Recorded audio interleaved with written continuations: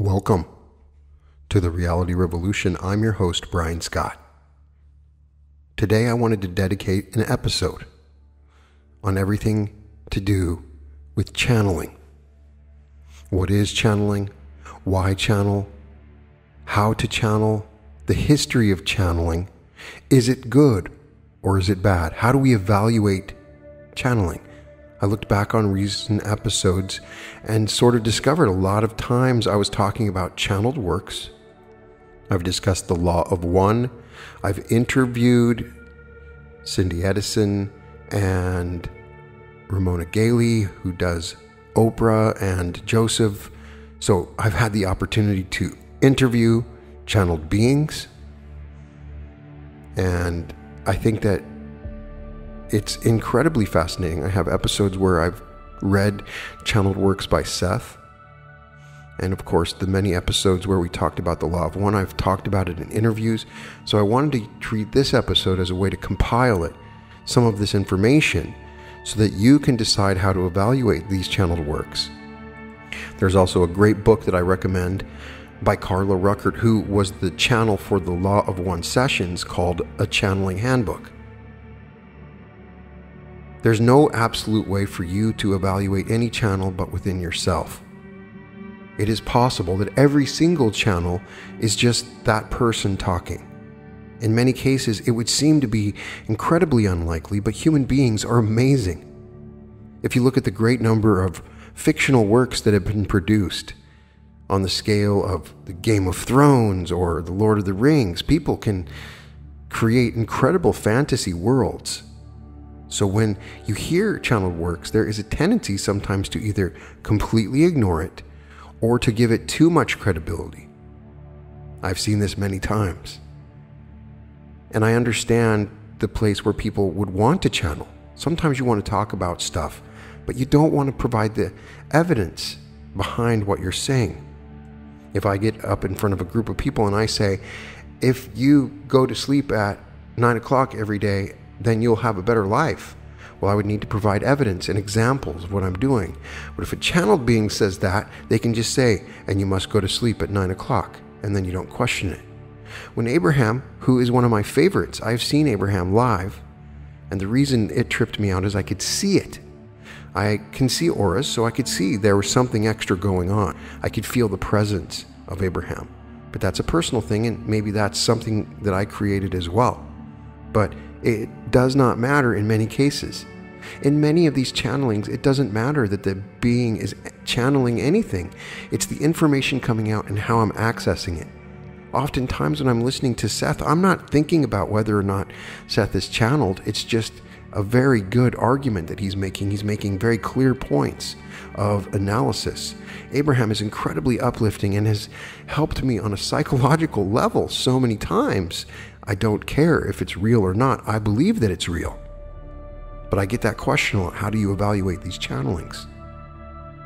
I think that in my own life, I've only chosen to channel my higher self. There's a part of me that's a little afraid. I don't want to open the door to some or any being. If you read about the channelings that were done for the Law of One, now, if nobody knows about the Law of One, there is a group of channeled sessions from 1981 through 1984. In that channeling, it was Carla Rueckert, Don Elkins, and Jim McCarty. What they did was they had three people. One person would just write down the answers, one would ask questions, and one person was completely out. There's so many different levels of channeling. It may be possible that every single fictional writer out there is channeling information. If you think about what we discuss as moving into the fourth density, into a social memory complex where everybody can read each other's minds and we have access to the conscious Akashic record, we're going to start getting more and more information that appears to be channeled. And it may not necessarily be channeled, it could be a memory that is a shared memory in group consciousness. As I've mentioned, when I read authors, I feel like sometimes they're with me. I can hear what they're thinking and, and their thoughts, and perhaps I'm receiving an impression from the Akashic record. The only person that I truly want to channel is my higher self. And I have an ongoing relationship with my higher self. And I trust my higher self. And sometimes my higher self doesn't want to answer, and I know how my higher self feels. I felt my higher self come into my body and look around. It is mind blowing to think about. And I've had times when I felt like that my higher self came through when I'm doing these episodes. I wouldn't come and tell you that I was channeling anything but myself, but it felt like it was channeled, like I don't remember saying something in particular. But as a researcher, I know about the history of channeling, and there are people that come from a Christian background that are afraid of channeling. They're horrified that there could be evil spirits. So you have to come to an understanding of what negative entities are and that they can, in the case of the Law of One material, when you read all the sessions, they had a negative entity attacking one of the members just because the information was so sacred and attempting to kill her. So, yes, some of these entities can be negative, some of them can want to make you look like a fool. They may be aware of your actual intentions. There's always two sides of it. In the case of Carla Rueckert, who was the channel for many of these channelings, she would challenge the entity in the name of whatever was closest or highest to her. She was somebody that had been very Christian and believed in Jesus and would challenge the entity in Jesus' name, which was a feeling in her heart, which she did. But they had to perform a particular ceremony when they did those channelings. If you check out my interview with Jim McCarty, he gives the exact description of the ceremony that was provided. We see all the time people that are channeling. Now, the Dolores Cannon material is not necessarily channeled. She would say it was not channeled. She was speaking to incarnations of previous people, and sometimes there's were entities that would walk in, but she seemed to differentiate it from channeling, but it was very much like a channeling that would occur. So, there are a bunch of recorded works of channelings before the Law of One material. It's certainly possible that material came from Carla Rueckert, and it's really interesting what to think. There is a history behind channeling. Obviously, a large chunk of the Bible is channeled. One incredibly fascinating work is Oahspe. It's O A H S P E, a massive book that is like the Bible. It is mentioned in the Law of One as being approved by the council People have channeled the council. People have channeled something called Urantia, this gigantic book that talks about the universe in a completely different way. There are channelings that obviously contradict with each other all the time. I'm very interested in Drunvalo Melchizedek and the Thoth information, and it seems to be channeled. But how do I consider this with the law of one information? How do I compare it? One entity could be intending to distort the truth, and one could be trying to portray the truth. Who knows? I always found the Ra material more credible because they only answered questions. The ways that they answered the questions were very legitimate. But let's look at the deeper story about channeling and the histories of it. There is so much channeling that we can talk about. In most cases, you'll just see somebody close their eyes and their lips for a minute or two, sitting with quiet focus, and they breathe in, usually big volume of air, and then suddenly a personality takes over, or a different voice will speak. And it really has become one of the paramount landmarks of the New Age movement, and has been since the late 80s, been something more than what had been before. It's more important than herbal cures and astrology and all of the different things that people relate to the New Age movement. And to monitor this wave, there's so much information as somebody that loves to read. I can't even discuss all of the channel information just that's on YouTube but its influence is propagated through multiple avenues radio and TV interviews, private channeling sessions, a lot of the stuff we never hear. Are governments hearing channeled sessions from aliens? Are they using channeling? Is that how we communicate with aliens. Would make sense, wouldn't it? If they had the ability to channel with us, that would be the fastest and most direct means of communication. So, how do we evaluate it? People sell videos and, and newsletters and magazines and seminars and conferences. It is a business. One article I found says the net profits have been estimated at $400 million annually from channeling. What is channeling? John Klimo, author of a pretty sympathetic yet thorough survey of channeling that I found, says it is a phenomenon in which otherwise ordinary people seem to let themselves be taken over, or in other ways receive messages from another personality who uses them as a conduit, medium, or channel for the communication, hence the term medium or channel. Some of the more interesting works that I find credible where they don't claim they're channeling, but clearly there's some channeling going on, like the Joseph Benner information. One of the more popular channelers is JZ Knight. She channels Ramtha, also known as the Ram, supposedly a 35,000 year old being from Atlantis who invented the practice of war. There's Martin Gardner who summarized the Ramtha story. Slowly, he came to realize that he himself was part of the god he hated. After 63 out of body experiences, his body vibrating faster than light, he became one with the wind on the side of Mount Indus in Tibet, free of weight, he ascended into the seventh heaven where he and God became one. He is now part of an unseen brotherhood of super beings who love us and hear our prayers. Ramtha has made Knight, obviously, a million, millions of dollars, several times over. She's had the name Ramtha copyrighted to prevent anyone else from channeling him. So Penny Torres and Jach Pursel are competitors, and they would Penny would channel Mafu, a highly evolved being from the seventh dimension, last seen on Earth when he incarnated as a leper in the first century Pompeii. And Mafu, like Ramtha, speaks with a Slavic accent. And then Jach Pursel channels Lazarus, a group being from beyond time and space who has never been embodied in our dimension.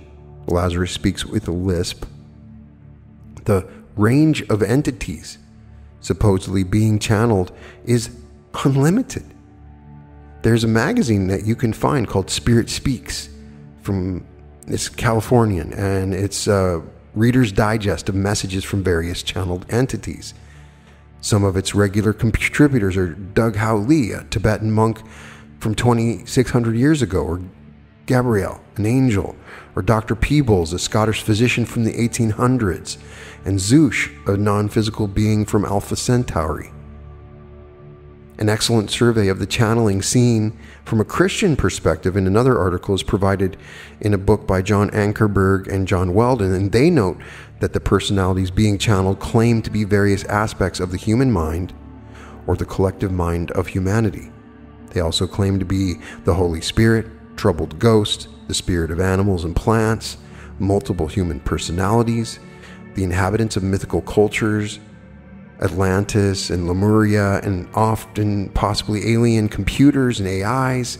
Bashar, who is one of my favorite channelers, claims to be an AI, sort of, as best I can understand it, and also the higher self of the channel, which in that case evaluate the information. It's, it's incredibly interesting. Now, historically, critics realizing that some people are claiming to channel dolphins and other spirits uh, have come to conclude that we are insane as a nation with all this channeling. Of course, there's always going to be people that are going to say that. Channeling activity, understood in its wider sense to include spirit possession in general, can be traced back to the earliest times and civilizations the acceptance of animism, the belief that spirits are present in all of nature, including plants, inert objects, and seasons, or the practice of ancestor veneration have provided primitive cultures with sufficient groundwork for the rise of Spiritism. Certainly, spirit mediumship, which is what my grandmother did. She was a very famous spirit medium in Nebraska, and I've got the chance to hold her crystal ball. Uh, so, spirit mediums and, and as well as attempts at spirit control can be seen in shamanism, witch doctors and magicians and healers. Channeling can be traced back to ancient religions of Egypt and India and the Near East. The commandments given to Moses after the exodus from Egypt expressly forbid communication with spirit mediums about 1400 BC. Leviticus 19:31 or going to one who inquires of the dead. Deuteronomy 18:11 Mosaic law prescribed the death penalty both for the medium and for the person who sought out the medium for advice in Leviticus 26:27. Indeed, one of the chief reasons that King Saul, the first king of Israel, was slain was going to one who had a familiar spirit to inquire of it in Chronicles 10:13. 700 years after Mount Sinai in the days of Isaiah, the prohibition still remained. Those who sought information from mediums and wizards were to be answered brusquely. Should not a people seek their God instead? Should they seek the dead on behalf of the living? Isaiah 8:19. In New Testament times, possession and control by discarnate spirits were accepted realities. The actions of Jesus in casting out demons and unclean spirits are mentioned repeatedly in the New Testament. Matthew 8:28, 9:32, 12:22, and 17:14. Jesus likewise commissioned his apostles to cast out demons, Matthew 10:1, and gave his authority to others not numbered among the 12. Luke 10:17. The early church continued to conduct exorcisms, Acts 8:7. I'm not implying that these are demons, but people in Christian belief systems equate channelings with evil demons. So I wanted to discuss this. An interesting incident regarding a channeler appears in the 16th chapter of the Act of Apostles, where Paul and Silas were evangelizing in Philippi, a city of western Greece. They were persistently followed by a slave girl with a spirit of divination. Acts 16:16. 16. The Greek text literally reads a python spirit, a reference to an entity named the Python, which inhabited the high priestess of the temple of Apollo at Delphi. Remember hearing about the Oracle of Delphi in school? That was her. The Python or Python spirit later became a generic term for a discarnate entity which predicted the future. The Apostle Paul finally turned and said to the Spirit, I command you, in the name of Jesus Christ, to come out of her, and he came out that very hour. It bears noting that this spirit of divination evidently could provide some genuine information. In verse 16, this was not a natural ability, nor was the woman using methods of fraud or cold reading because when Paul cast out the spirit, she lost her powers and the ability to make money for her owners. If the woman had seen drawing upon a talent or using a swindle technique, she should still have been able to earn money by deception, as previously. In any case, this was not a power the Lord wanted in her life, and through the authority of Jesus Christ, it was cast out in the Bible. For centuries, among monotheistic cultures, spirit communication was usually limited to spirits of divine origin God, Jesus, or the angels. Muhammad claims multiple encounters with the angel Gabriel, whose messages are preserved in the Quran. In the Middle Ages, Roman Catholic mystics were permitted visions and appearances of Jesus or the Virgin Mary. One of the really interesting ones is Emanuel Swedenborg, who I became aware of through William Blake when I read, and check out my episode where I read The Marriage Between Heaven and Hell. He refers to Swedenborg. Now, the story behind him is amazing. The, he was this brilliant metallurgist, inventor, and scientist in the 18th century, and he abandons his career because he is visited by angels and he can give full descriptions of the afterlife in heaven. claiming to be in contact with angels. He wrote these treatises and commentaries based on these visions and communications and founded a major cultic movement influential among European and American intellectuals. In the 19th century, America's several cults such as Mormons and the Shakers. Now, you don't may not say that Mormons are a cult. That's they're not. They claimed communion with angels or spirits of the dead. Those are other religions. They're all the same religion. Mary Baker Eddy often attempted to distinguish Christian science from spiritualism, yet she herself acted as a trance channeler briefly before discovering Christian science. In The Life of Mary Baker G. Eddy and the History of Christian Science, Georgine Milmine describes experiences of Mary Baker Patterson. Mary Baker Patterson channeled the spirit of her dead brother Albert. Milmine's book reproduces a photographic of automatic writing purportedly from Albert in Mary's hand. Two years later, in the company of other spiritualists, Mrs. Patterson acted as a trance medium, this time claiming to channel only the spirits of the apostles and of Jesus Christ. One of the interesting channelings is the Course of Miracles, in which the entity never identifies themselves. And uh, later you get the implication that it's actually Jesus being channeled or channeling this work. One of my favorite channelings of all time is Paul Selig, and each book kind of builds on itself. The information really feels energetic, and I recommend reading any and all of Paul Selig's books. He claims to be channeling Melchizedek. The channeling floodgates opened in this country in the mid 19th century with the advent of spiritualism and the attempt to communicate with spirits of the dead. Historians almost universally trace the origin of the spiritual movement. Margaret was 14 and Kate was 11 when they first heard the sounds of knocking furniture being moved and other sounds in various rooms of their home in 1847. And that was the Fox sisters. And the children were terrified. Uh, and Mrs. Fox's hair turned white and through this ordeal. I'm sure there's a movie about it.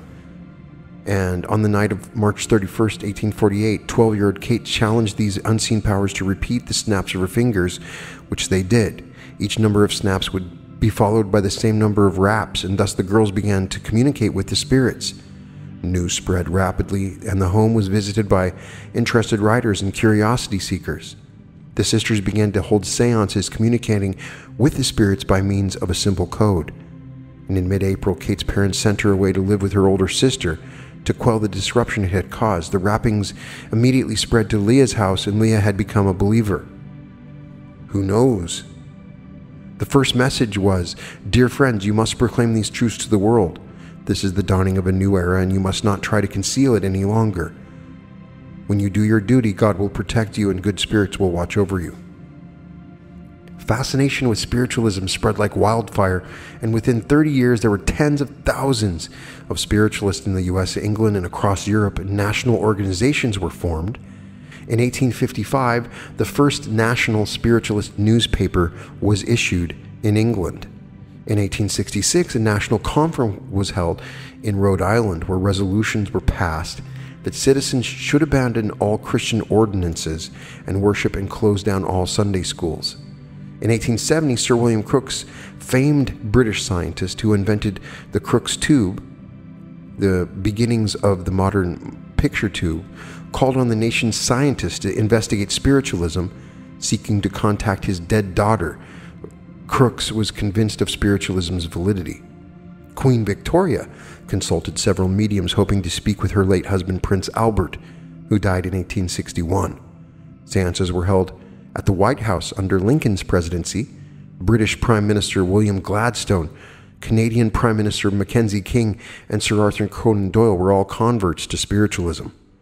Famed magician and escape artist Harry Houdini tried to prevent Conan Doyle from being duped by crank mediums, but Doyle remained convinced that the spiritualist had true supernatural powers.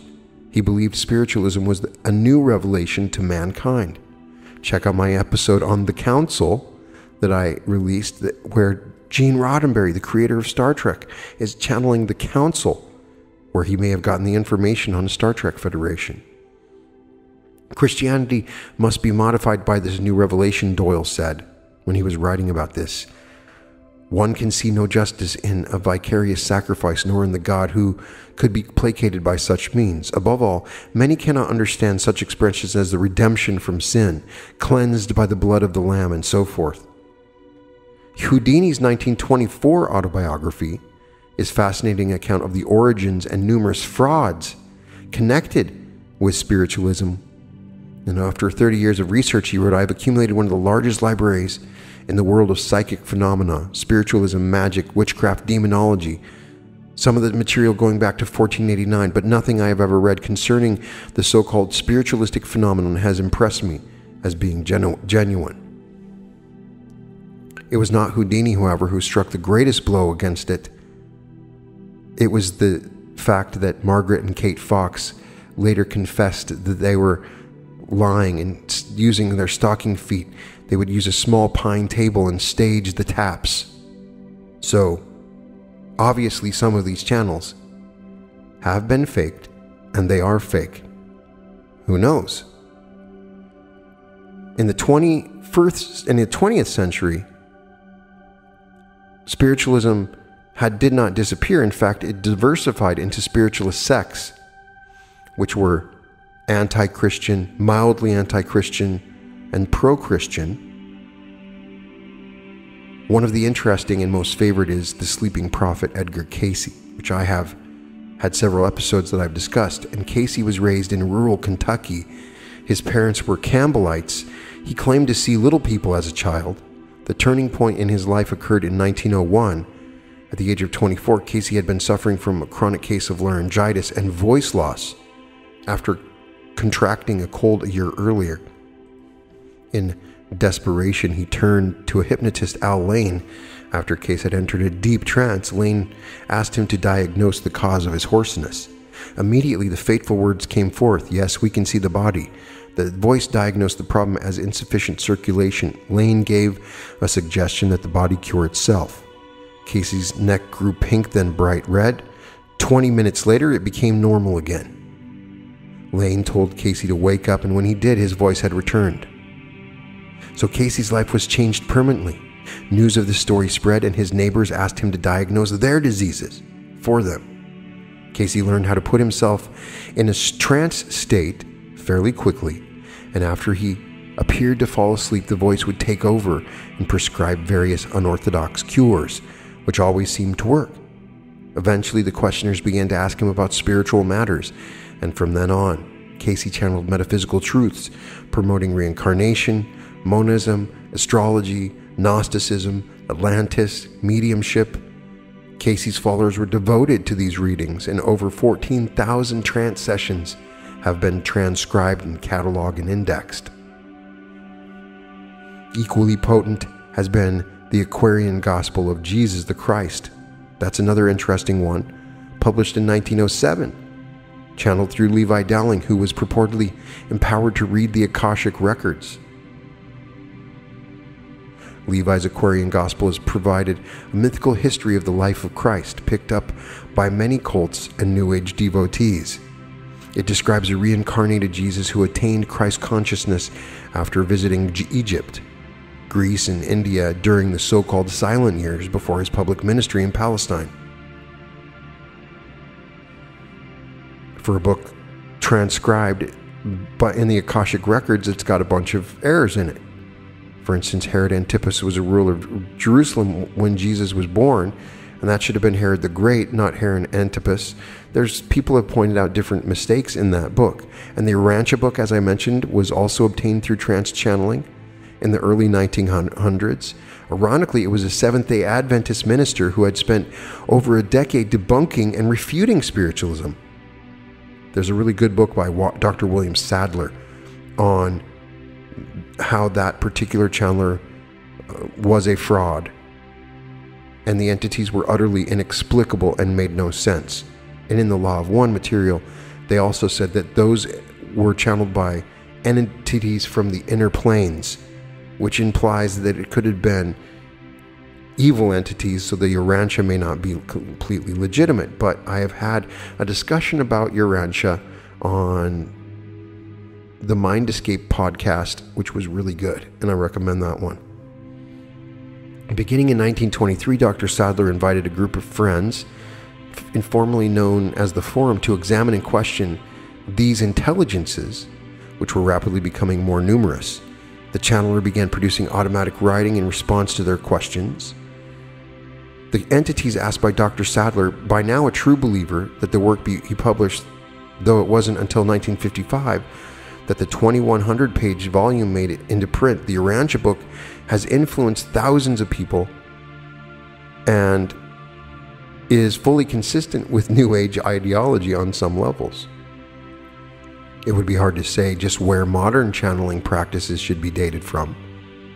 But a good beginning is the Seth material. Then I have about five episodes on the channel where I've read some Seth stuff. We're channeled through the late Jane Roberts, who died in 1984 and she was a housewife and would be writer who first encountered Seth through a spontaneous experience. Jane said, A fantastic avalanche of radical new ideas burst into my head with tremendous force, not unlike an LSD trip. Jane transmitted this material over 20 years, and like most channeled writing, it is amazingly consistent with New Age philosophy. Jane Roberts was the first contemporary channeler to gain widespread acceptance in the 1970s, and since then, the volume of channelers and channeled writings has fallen on our society like a deluge. How does channeling fit? How do we apply it? In an interview with Joel Bjorling, an author of uh, a bibliography on channeling, since he's up to his eyeballs in studying channeled writings, he was asked how contemporary channeling differs from its 19th century predecessor. He pointed out that, in terms of content, both have the same philosophy and share a common root. The outward phenomenon is also similar. In both cases, a disembodied entity speaks through the channeler, usually in a trance state. One difference this author has observed is that the spiritualist movement focused on seances like dim lights and invocations and supernatural manifestations, table lifting and direct voice phenomenon. Today's channelers do everything under bright lights, usually on stage, an only visible event when an alien personality takes them over. The channelers usually don't exhibit the powers or physical phenomena, such as levitation, that were present in spiritualism. So the spiritualists probably are more false. The basic themes have also differed. In spiritualism, the emphasis was on proof of survival after death, and the public largely sought reassurance that their deceased loved ones are happy in the great beyond. In modern channeling, the focus is on higher intelligences who have come to teach us truth, showing us how to alter reality and achieve self fulfillment. Modern channeling centers around themes of we are all God, there is no death, reality is a product of the mind, prosperity is our right, and we can have it all, and we must preserve the earth from nuclear or ecological disaster. This last point is especially prevalent among UFO contactees who communicate telepathically with, with different aliens, except when it comes to the Confederation. The channeled writings and records coming from the Confederation prior to the Ra channelings are so good, so profound. I've obtained copies of some of the channelings, and they are just mind blowing in the information that they provided. And in a period of time in the 70s, they documented every channeling. And Carla Rueckert really examines how channeling is done through the Confederation, how, the, how you can channel the Confederation, how you can hear the voices of the Confederation. Channeling appears to be done best in groups. And I wanted to read some of the stuff about those channelings. But I want to just say is this idea that it's all satanic. It's just not all satanic. There may be people that are using it to make money. Obviously, there's some that are intentional fakers, but some of it may come from the unconscious self will. Maybe some of it's coming from the memories of past lives. But I don't believe that it's coming from demons, but it could be coming from negative entities. So, the best place to talk about channeling is in the writings of Carla Rueckert. Carla Rueckert, in her book on channeling, says that channeling is the reproduction by words or sounds of concepts not generated within one's own conscious mind, but transmitted from the subconscious mind or through the subconscious mind into the conscious mind from an impersonal or non personal entity or principle. A good analogy to channeling would be the pipe which carries water. The pipe does not create the water, but rather receives it from the source external to its identity. In many ways, channeling could be the ultimate creative exercise. If you just pretend that you're channeling, you're going to come up with some amazing information. And it's also a meditative technique. In learning how to accept this information, there's something that happens with yourself. So you may be able to channel information. Aren't we all channeling on some level? When she talks about the Piper channel, there are things a Piper channel can be and do to enhance the delivery of pure channeling. It can keep itself clean and free from corrosion. It can remove obstruction. It can strengthen its walls or enlarge its diameter. It can make new connections. The only control it has over the water it channels through itself is the care with which it has allowed itself to be connected. The only control a pipe has over the appropriateness of the position and place of water is in the positioning that's open. Carla explains there are too many kinds of channeling to mention. Perhaps the image which represents channeling to the average person is that of the spiritualist seance. In this practice, a medium sits with a group of people who wish to communicate with ghosts. This form of mediumship is not the kind of channeling about which I know much. And those who wish to learn to be spiritualistic mediums are advised to go to a spiritualistic church and inquire as to where the nearest center is that offers such a course of teaching. I note this not because I have disapproval of the practice, nor because I am unfamiliar with the practice, but because it and other well established and thorough schools of mediumship, the American Indian tradition and its medicine men and women are another good example, offer a perfectly adequate and perhaps somewhat specialized form of instruction to interested students. What other types of channeling are there then? The religious and traditional. For one, the prophets and some few saints in the Christian church were channels. The Old Testament is filled with the beauty of the prophet's words, most notably Isaiah's, whose words about the sacrificial lamb were so very prophetic of the incarnation of Jesus the Christ. These holy men and women saw visions, heard voices.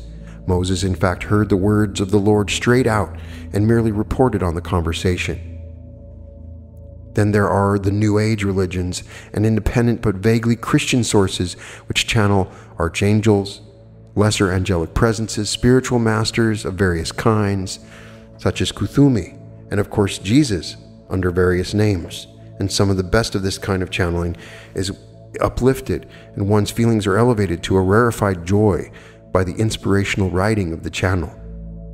The religious channel has an obvious bias, and consequently, the message does not get through to everyone who happens to read the material.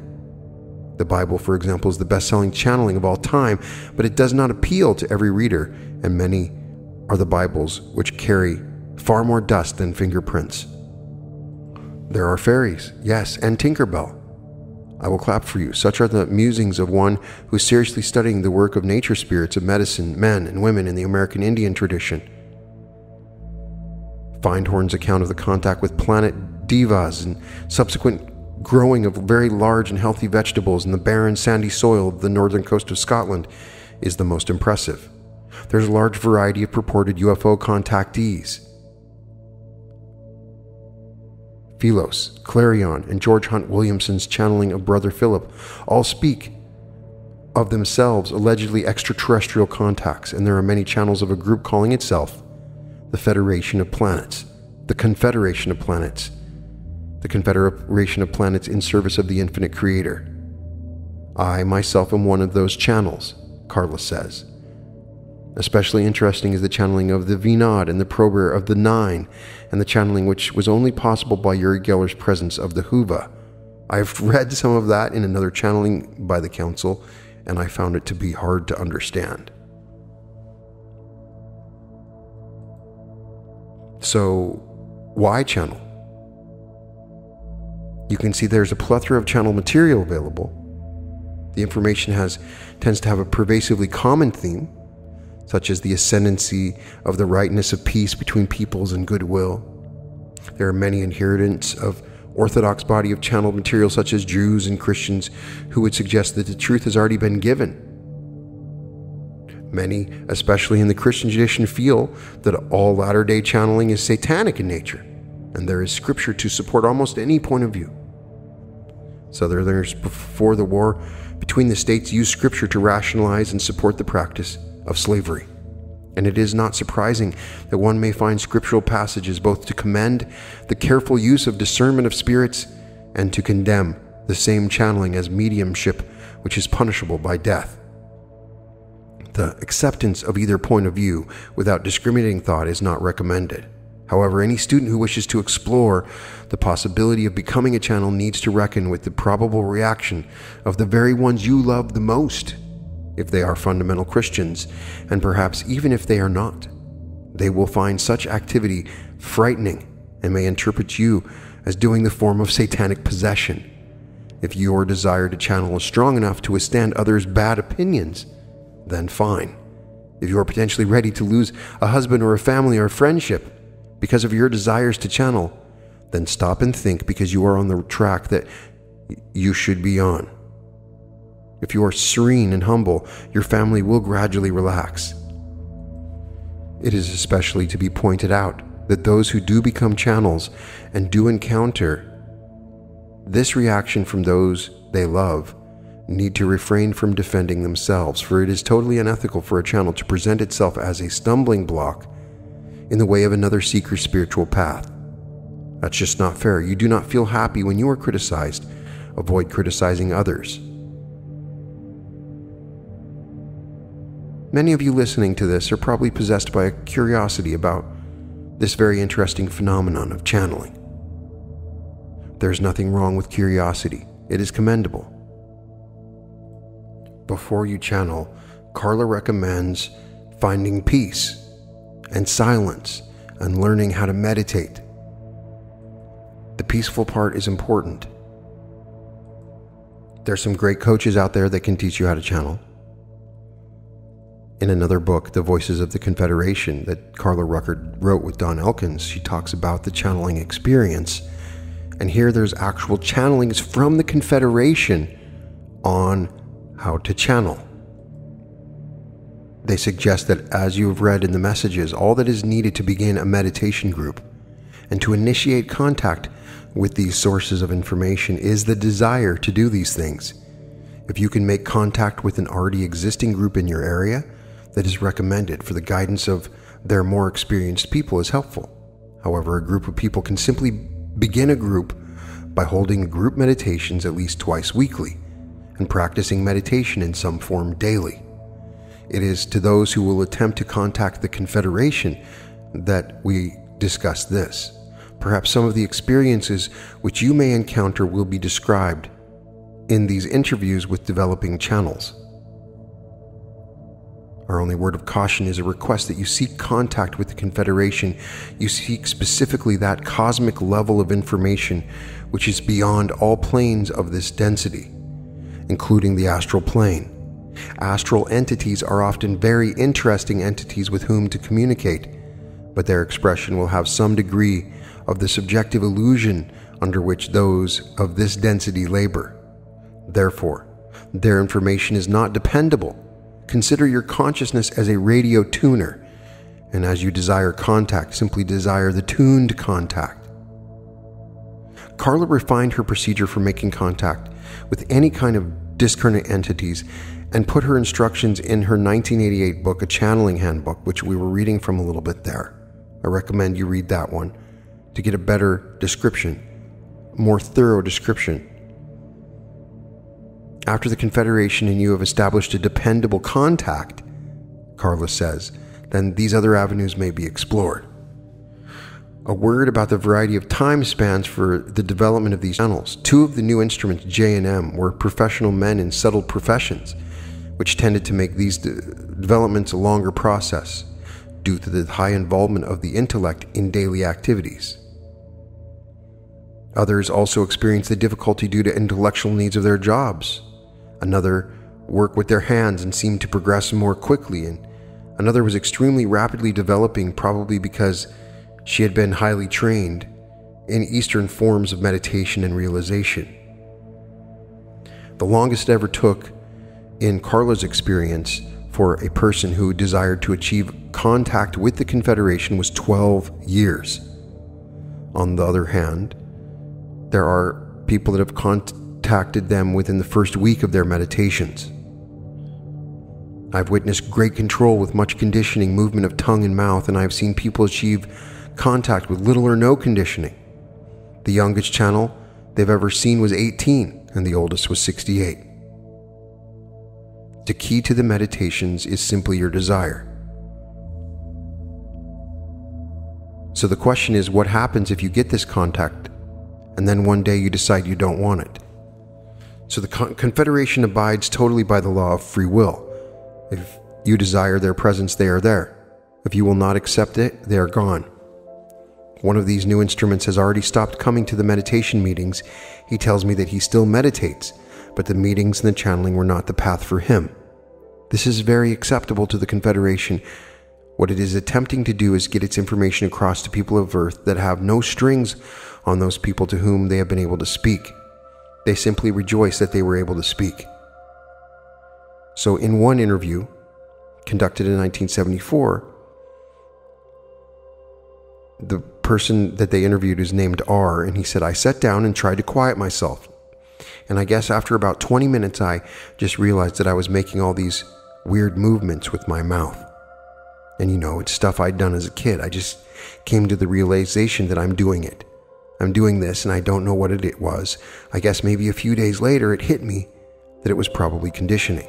Carla then said, And what do you experience now in the way of conditioning? Well, sometimes I'll start as half a yawn. Sometimes I'll be that as I kind of quiet or relax. My mouth will just start opening, and then I'll start making all these weird things. Does your tongue move? Carla asked. Yeah, everything moves. It's almost like I'm trying to get out of my body. In fact, I think there there might have been what I thought the first time as I think about it, it was almost like a yawn. You just couldn't grab a hold of or something. You know, like my jaw was puffed out. Dislocated? Yes, dislocated. I think it can happen. And then a lot of times it gets really, really tiring. And a lot of times I cop out. I'll say, well, not now. Next time I'll, we'll do it longer. Because it is kind of a hassle. I don't mean like a pressure, I mean an energy would be if someone shone a bright light at you behind your back. You could feel it. In another interview with somebody named Jay, they said vocal channeling is an interesting kind of a personal phenomenon. It's kind of hard to describe, however. When I became interested in the possibility of extraterrestrial communication, or for that matter, from even a cockroach that was able to do it, it took a period of about three months of conditioning for me, between three and six hours a day. And at the end of this time, I was an awkward channel in that I required a lot of control because uh, I would fight the message. The fact that intrigued me that even though the information was being channeled would change from instrument to instrument, the format and subject matter was also the same. And I'm talking about at a single session. This would be the same thread. In fact, there was an episode where I came in late and I was the last channel used, and when the speaker signed off, as it is, he used his name, and I was afraid at first to sign off for him, but I proceeded, and it was the same channel who had identified himself earlier before I had arrived at the meeting.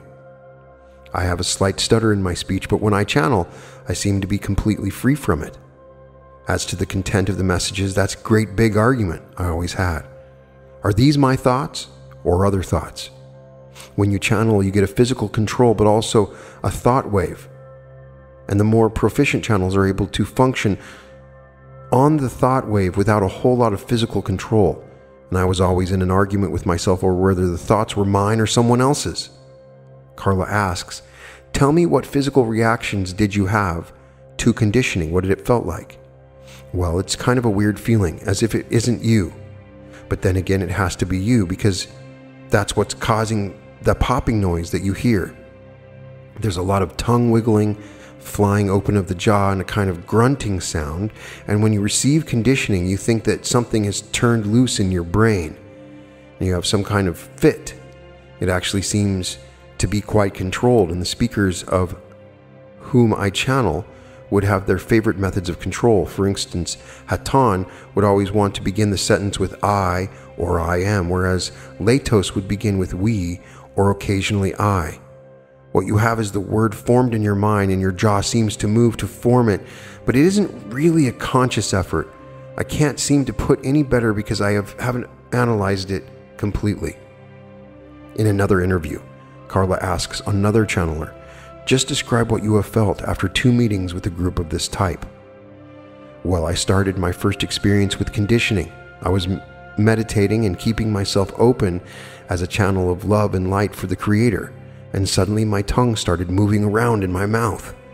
It was being moved by others than myself, and I received some messages such as, Have no fear, sister, and the word or name Ezekiel came into my head strongly twice. I wasn't familiar with him, although that evening I read all about him in the Bible. George Hunt Williamson also has a chapter that explains who Ezekiel is. And after that, since I was eager to be a channel throughout the day and evening, I would leave myself open and they would start conditioning me. Continue conditioning with my tongue, sort of exercising. And then yesterday I was meditating for about three hours, and my whole mouth and face started to move like ours. I got a mirror, and I was watching my face change with all the contortions, exercising the muscles to stimulate the telepathy. I didn't get very far as words, but my mouth was going through the motions of the words. The strongest feeling was when I could feel something creaking in the bones of my face, like something was coming in me.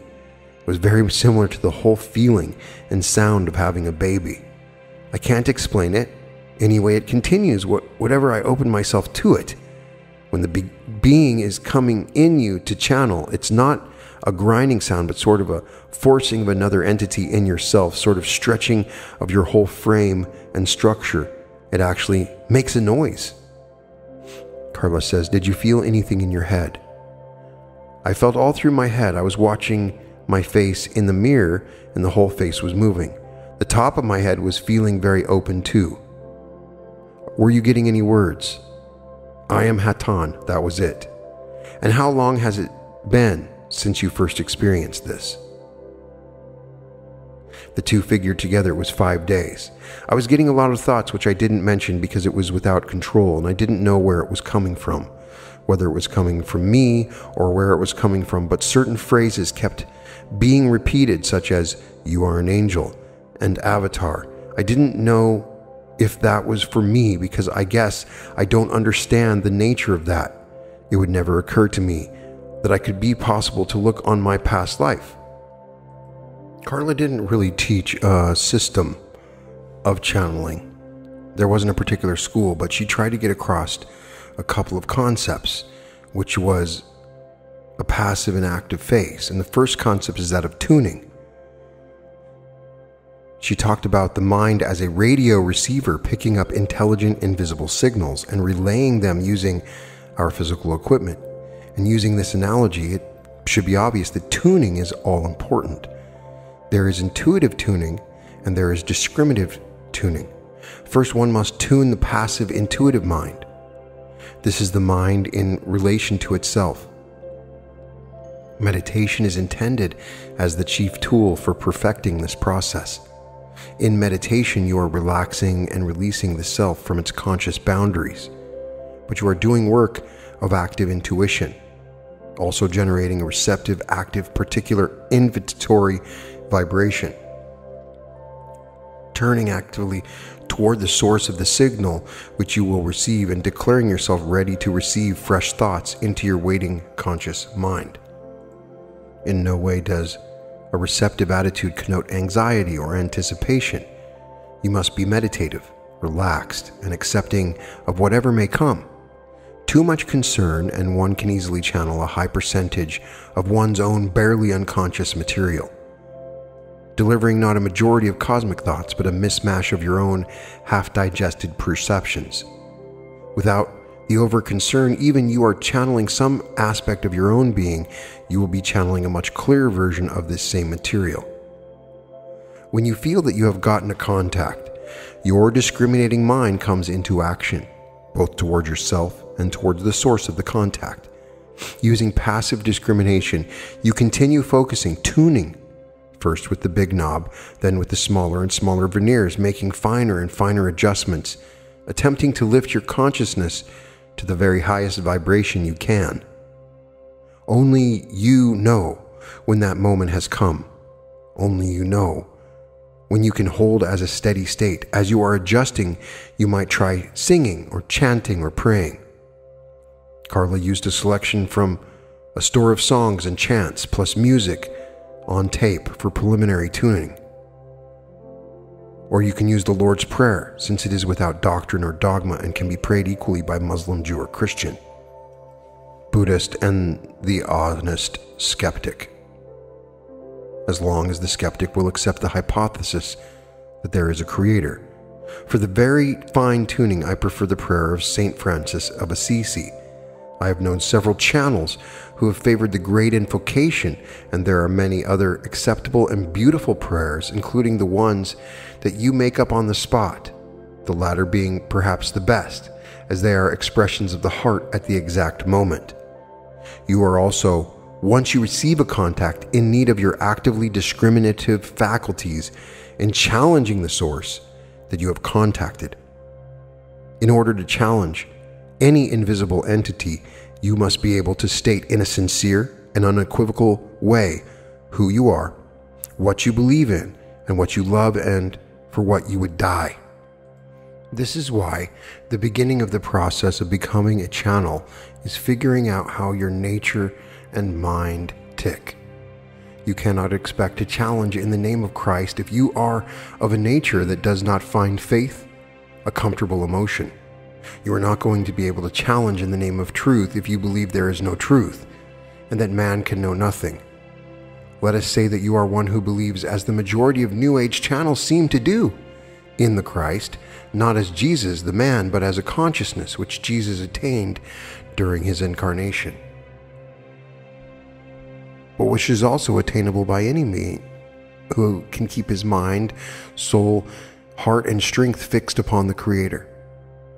You wish then to challenge in the name of Christ consciousness. You feel or you guess that this is something that you can believe in. In this very complex society, we are not used to saying things in a way which implies no relativity. We are used to situational ethics, wrong things being right, under certain circumstances, and people leaving our religious beliefs pretty much alone in the interest of getting along with each other. It may be difficult for you to say unequivocally that you would die before you would deny the supremacy of the force of Christ's consciousness in your life. It is possible for you to doubt the ideal because of the age in which we live. This is not an age of faith, unless it's, it's faith in empirically derived knowledge.